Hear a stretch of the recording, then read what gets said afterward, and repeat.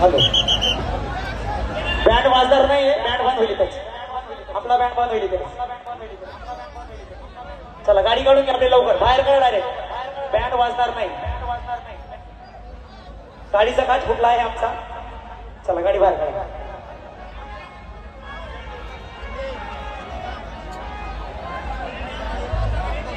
चला गाडी काढून घ्या बाहेर.